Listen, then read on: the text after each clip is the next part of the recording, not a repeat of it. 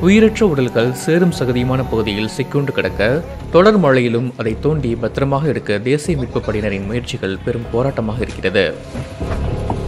வயநாட்டின் ambulance சைரன்களின் ஒளி நின்றபாடில்லை பலருக்கும் அது மரண ஓலமாகவே ஒழித்துக் கொண்டிருக்கிறது. உயிரிழந்தவர்களின் எண்ணிக்கை இருநூற்றி எண்பதை கடந்துவிட்டது. இன்னும் நூற்றுக்கணக்கானவர்களின் நிலை என்னவென்றே தெரியவில்லை. மண்ணுக்குள் புதைந்துள்ள கிராமங்களில் அடையாளம் தெரியாமல் இன்னும் எத்தனை பேர் சிக்கியுள்ளனர் என்பதை யாராலும் கணிக்க முடியவில்லை. நேரம் கடந்து கொண்டிருக்கிறது. குற்றுயிரும் குலையுருமாக மீட்கப்பட்டவர்களை மரணத்தின் விளிம்பிலிருந்து மீட்க வயநாட்டின் சாலைகளில் ஆம்புலன்ஸ்கள் படையெடுத்துக் கொண்டிருக்கின்றன. ஒவ்வொரு முறையும் ஆம்புலன்ஸ் வரும்போதும் தங்கள் அன்புக்குரியவர்கள் யாரேனும் உயிருடன் மீட்கப்பட்டார்களா என்பதை அறிய உறவினர்கள் குவிந்த வண்ணம் உள்ளனர். ஒருபுறம் மீட்கப்பட்டவர்கள் மருத்துவமனைகளை நோக்கி வரும் நிலையில் மறுபுறம் நிலச்சரிவில் சிக்கிய சடலங்கள் சாரை சாறையாக ஆம்புலன்ஸ்களில் செல்கின்றன. வயநாட்டில் இந்த மரண ஓலம் பார்ப்போரை கலங்க வைத்துள்ளது.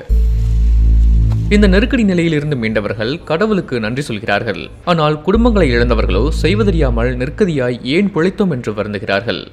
நிலச்சரிவில் தன் கண்முன்னே மகன் அடித்துச் செல்லப்பட்டதை பார்த்த சுஜாதா இன்னும் அந்த துயரத்தில் இருந்து மீளவில்லை പറയുമ്പോൾ இப்போ ഇവിടുത്തെ சாஹரியம் வச்சு നോക്കുമ്പോൾ ഞങ്ങൾക്ക് കിട്ടിയ ജീവിതം വേണ്ടായിരുന്നു എന്ന് തോന്നുന്നു. കാരണം എന്നെ വളർത്തി പോറ്റിയ ആൾക്കാരുണ്ട്.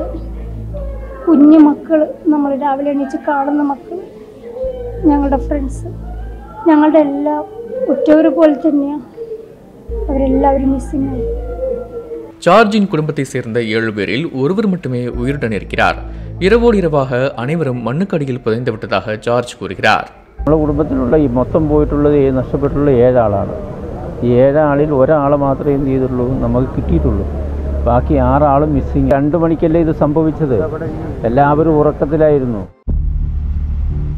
வயநாடு மாவட்டத்தின் பல கிராமங்கள் ஒரு குலைந்த எச்சமாக மிஞ்சியுள்ள காட்சிகள் இவை. நகரத்திலிருந்து துண்டிக்கப்பட்ட நிலையில் மீட்புக் குழுக்கள் கயிறுகளை பயன்படுத்தி பாதிக்கப்பட்ட பகுதிகளை சென்றடைகின்றன. அடுத்தடுத்து நிகழ்ந்த மூன்று நிலச்சரிவுகளின் தாக்கத்தை இந்த காட்சிகள் வெளிப்படுத்துகின்றன.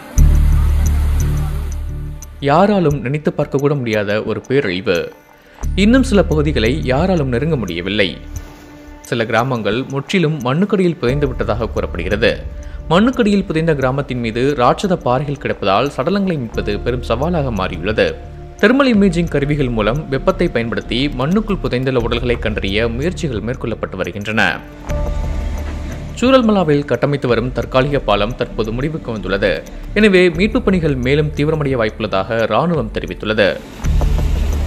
தற்போது வரை கனரக வாகனங்கள் செல்ல முடியாத காரணத்தால் பல பகுதிகளில் நடந்து சென்றே மீட்புப் பணிகள் மேற்கொள்ளப்பட்டு வருகின்றன.